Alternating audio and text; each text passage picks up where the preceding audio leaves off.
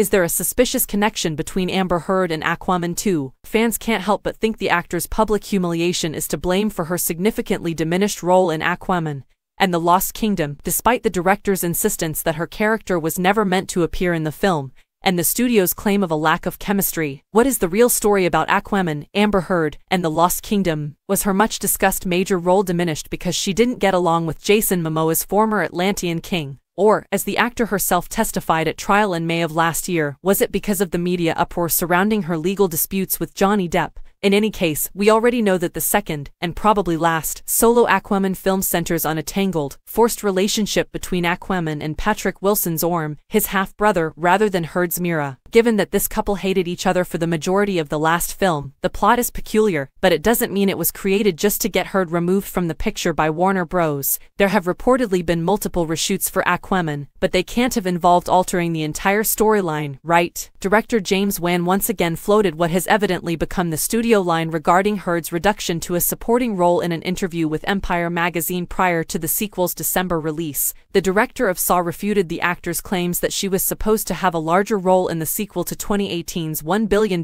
box office hit Aquaman, saying he always meant the film to take a different turn.